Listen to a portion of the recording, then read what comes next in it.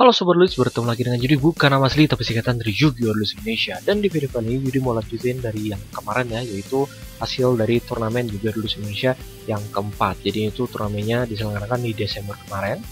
Dan di turnamen itu Yudi mengangkat tema World Championship Simulation. Jadi yang digunakan adalah World Band List Desember 2018 Nggak boleh ada kartu eksklusif TCG maupun OCG Dan juga tidak boleh ada kartu beta dan terima kasih kepada Martomi yang sudah menjadi sponsor di turnamen kali ini. Nah, di turnamen kali ini udah masuk ke ronde kedua ya dan di sini ada match ke-11 antara Shin dan juga Komako. Langsung aja ya kita lihat. Dan inilah duel pertama antara Komako melawan Shin. Di sini Komako menggunakan deck Pendulum dan Shin itu menggunakan gabungan antara Blue Ice Chaos Max dan juga Black Cluster Soldier. Nah, ini udah langsung ya Komako mengeluarkan combo pendulum wah ini langsung bakal pendulum zaman. Dan di tangan ternyata itu ada Apex Avian. Waduh ada satu Negator yang bener-bener bisa genrek banget. Dan ada Abyss Dweller jadi di sini next turn nah misal di touch kayak gini ya itu tuh semua monster di graveyard itu nggak bisa melakukan efeknya. Jadi sini bakal ke negate semua efek yang ada di graveyard. Oke okay. nggak negate seperti tadi tuh nggak ada uh, spell counter ya dari si Jackal King makanya tadi efek dari Manju itu nggak di negate jadi di sini ada uh, Blue Blue Ice Chaos Max. Tapi langsung dihadang oleh Boros Sword Dragon dan ini jelas banget ya. Langsung one turn kill langsung KO ini.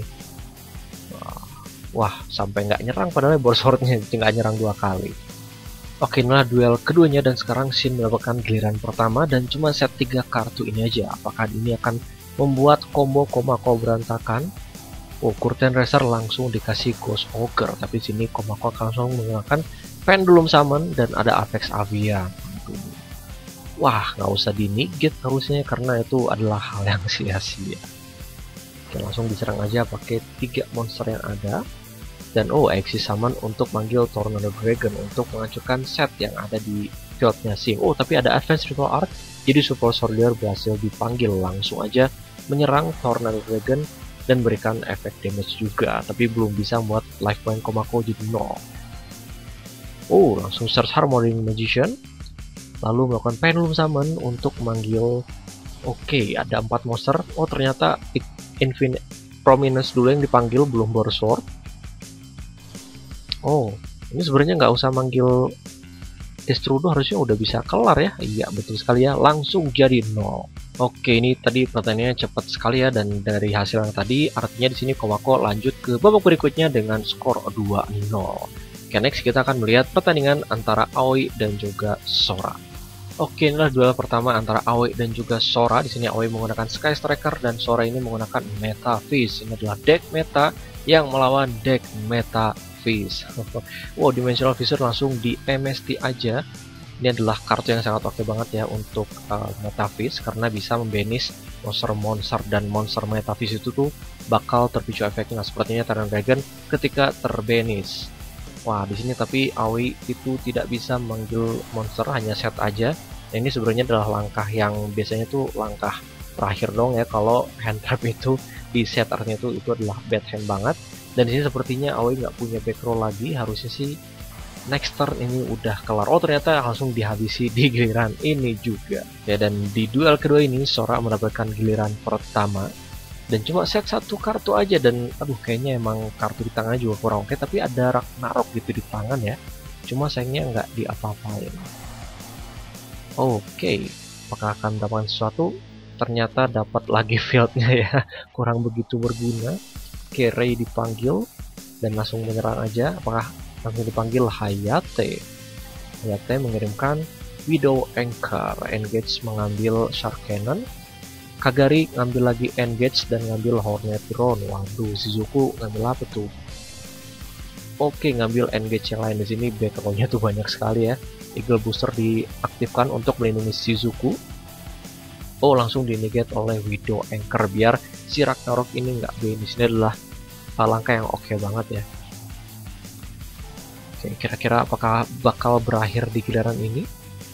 Harusnya sih bisa ya, tinggal panggil Borsword juga langsung kelar nih harusnya. Nah, betul ya. Ini tanda-tanda Borsword bakal muncul karena ini bakal banyak sekali dipanggil. Nah, sebentar lagi Borsword muncul. Nah, ini dia ini udah jelas kelar banget ya.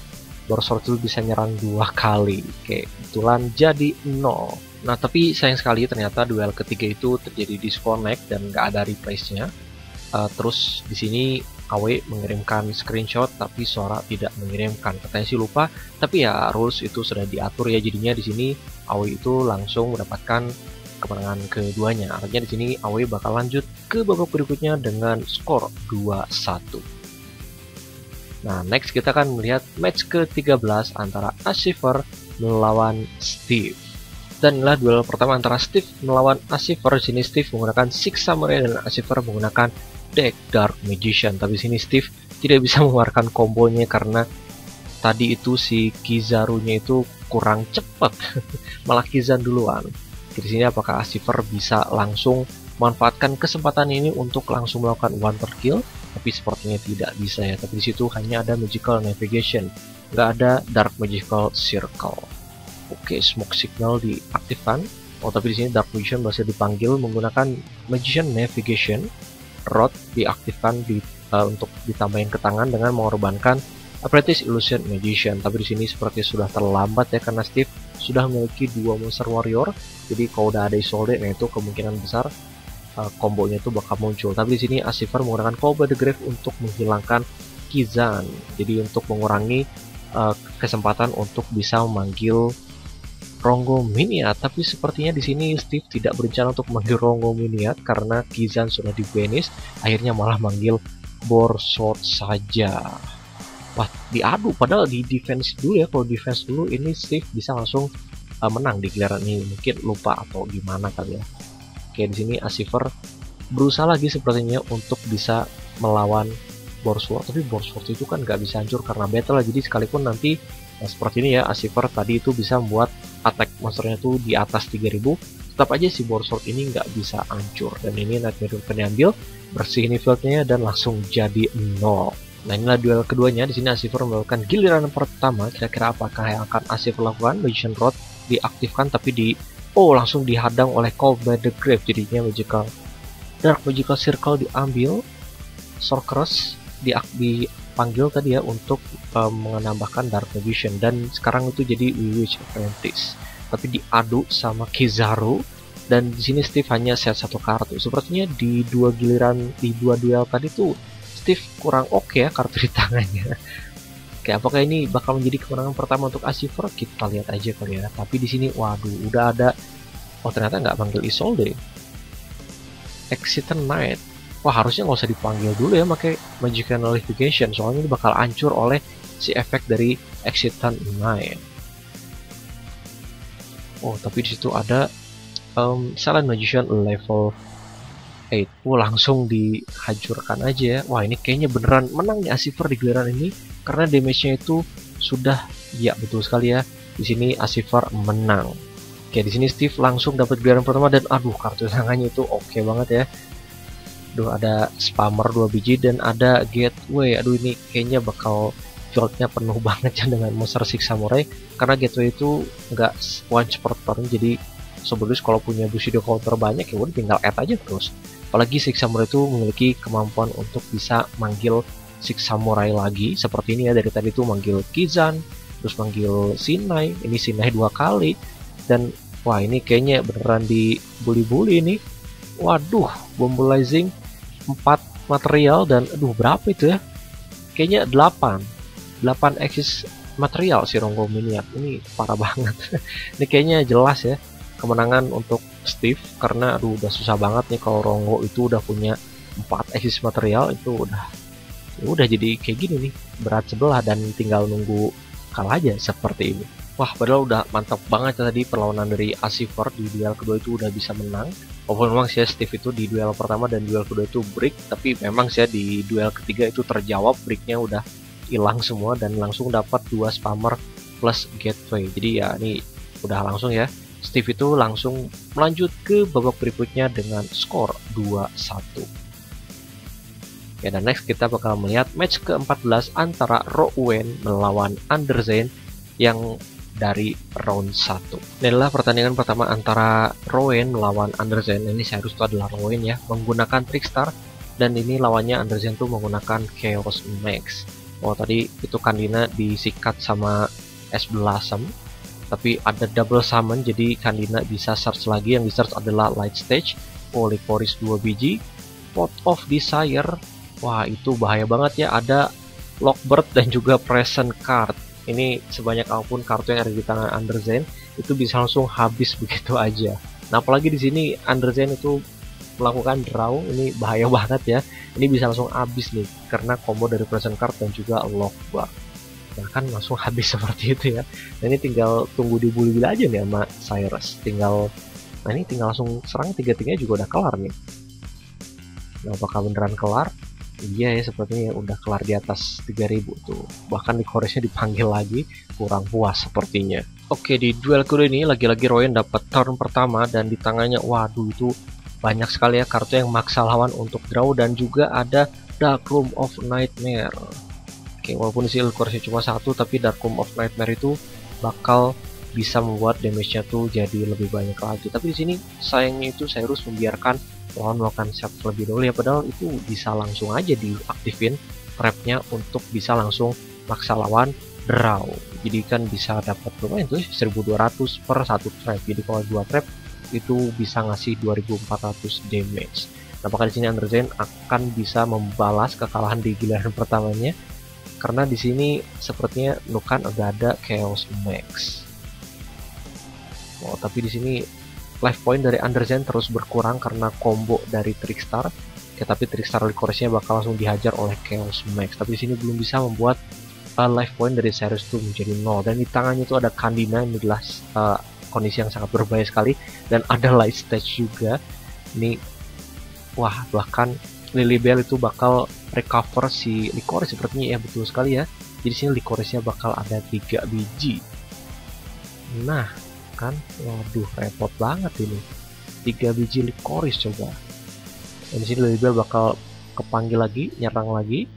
Dan wah ini damage-nya cukup besar ya. Wah ini sih udah kelar ya di draw face dari Anderzen sendiri. Ini bakal langsung kelar. Karena tinggal 300 nah terbakar habis dengan nah, ini bahkan udah habis aja masih harus dibakar ya. Inilah kejamnya Trickstar. Jadi aduh parah banget deh. Wah emang brutal banget ya burn dari Trickstar itu. Bahkan ini kartu-kartu dari si Sultan kayak Baya sampai tertunduk lemas tapi yang pasti di sini uh, Roy itu langsung lanjut ke babak berikutnya dengan skor 2-0 Oke, nah sebenarnya di sekarang itu Yudi sedang membuka turnamen kelima. Jadi kalau sebelum yang pengen ikutan langsung aja join ke Discord juga dulu Indonesia. Uh, linknya ada di bawah ini. Nanti aturan turnamennya juga sudah Yudi tuliskan di sini semua. Yang pasti untuk turnamen kelima ini Yudi mengangkat tema Forbidden Memories. Tapi di sini tetap ya menggunakan Wejo Property. Kenapa Yudi namain Forbidden Memories? Karena di sini tuh yang boleh digunakan hanya kartu Forbidden aja dan masing-masing kartu Forbidden cuma boleh dibawa satu kopi aja. Kartu lainnya nggak boleh dibawa ya.